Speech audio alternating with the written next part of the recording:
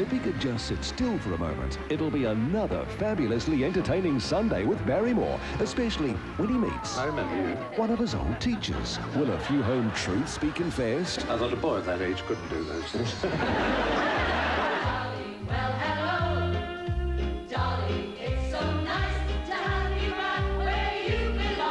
Singing, dancing and entertaining. The brilliant Barrymore is back. 6.30 Sunday on TV1.